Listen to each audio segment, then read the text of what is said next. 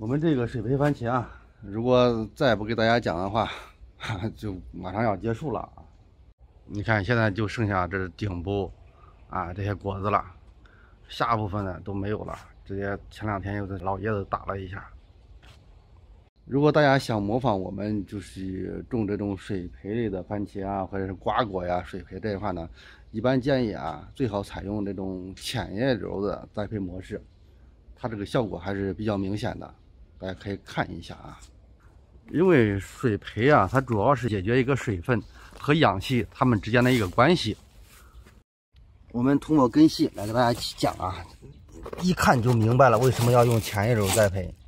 哟，看一下这根啊，现在是没有上水，没有上水的时候，你看这根下面啊，它是没有水分的，有时候很少的水分。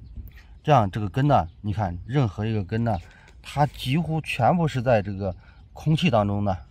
如果我们把这个这个把这个盖住以后呢，它就在一个黑暗的湿润的环境当中，它可以吸收空气当中的氧气。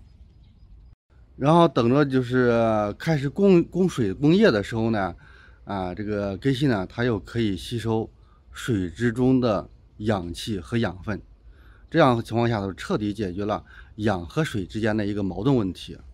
然后这个瓜果类才能长得更好。为什么不建议推荐大家用深叶流流呢？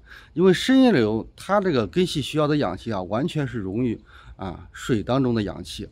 那么水当中氧气这个溶解量受温度的影响啊，包括呢受循环的时间长短等等一系列方面的影响，所以它氧气氧气供应这块是一个问题。